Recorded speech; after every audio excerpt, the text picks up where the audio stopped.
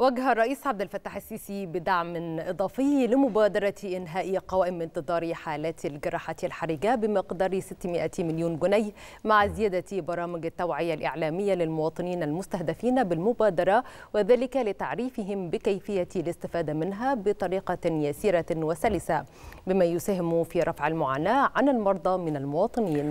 جاء ذلك خلال اجتماعه مع رئيس مجلس الوزراء ووزير التعليم العالي والبحث العلمي والقائم بأعمال وزارة الصحة ومستشار الرئيس لشؤون الصحة والوقاية.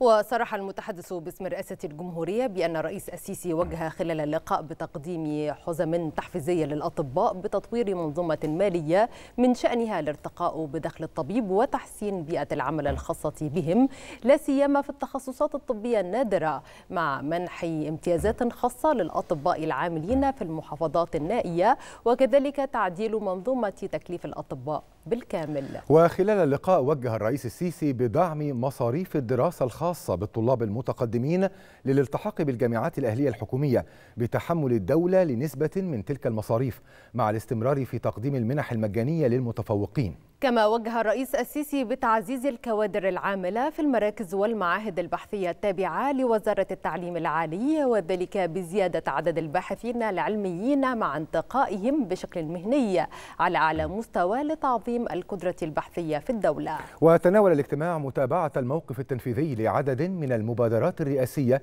في قطاعي الرعاية الصحية للمواطنين والجامعات والبحث العلمي. وقد شهد الاجتماع عرض الوضع الوبائي لفيروس كورونا على مستوى الجمهورية فضلا عن معدل تلقي التطعيمات واللقاحات والمتوفر حاليا من جرعات إضافية من اللقاحات. كما تم كذلك استعراض نتائج تطبيق المبادرات الرئاسية المختلفة في إطار جهود الدولة للارتقاء بالصحة العامة وذلك تحت مظلة 100 مليون صحة وما تم تحقيقه من مستهدفاتها على مستوى الجمهورية. كما وجه الرئيس بضمان استمرار ما تم تحقيقه من نتائج في إطار مبادرة الكشف عن علاج فيروس سي من خلال الكشف الدوري المستمر والمبكر. وتابع الرئيس المبادرة الرئاسية الخاصة بدعم صحة المرأة والاكتشاف المبكر للأورام وتعزيز صحة الأم والجنين على مستوى الجمهورية. فضلا عن جهود تطوير مستشفى أورام دار السلام هرمل لتصبح مركزا متطورا لتشخيص وعلاج أورام الثدي. وكذلك مستجدات إنشاء المعهد القومي الجديد للأورام 500 500 حيث وجه السيد الرئيس بسرعة استكمال كافة منشآته ومرافقه. وتم أيضا عرض مستجدات الموقف التنفيذي لتطبيق منظومة التأمين الصحي الشامل مع استعراض الخطوات القادمة في هذا الصدد والخطط الزمنية لإدراج باقي المحافظات في المنظومة. حيث وجه الرئيس بضمان استدامة التدفقات المالية الخاصة بالمنظومة كعمل أساسي لنجاحها بالإضافة إلى كفاءة مقدمي الخدمة الصحية. كما تم عرض مستجدات المبادرة الرئاسية التكنولوجيا المستقبلية 2050 والتي تضم جامعات التكنولوجيا والعلوم الحديثة المتخصصة في بعض المجالات الدقيقة مثل الذكاء الاصطناعي والبرمجيات والشمول المالي والإعلام الرقمي.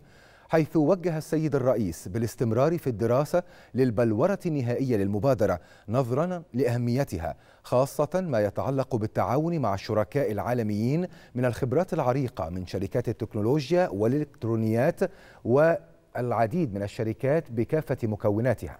واستعرض الرئيس مستجدات عدد من أبرز المشروعات القومية التابعة للوزارة خاصة الأكاديمية الوطنية للرياضيات ومدينة زويل للعلوم والتكنولوجيا والابتكار وكذلك الجامعات الحكومية والأهلية والتكنولوجية حيث وجه الرئيس بأن يتم دعم مصاريف التقدم للطلاب الجدد للالتحاق بالجامعات الأهلية الحكومية بتحمل الدولة نسبة من تلك المصاريف مع الاستمرار في تقديم المنح المجانية للمتفوقين. Show.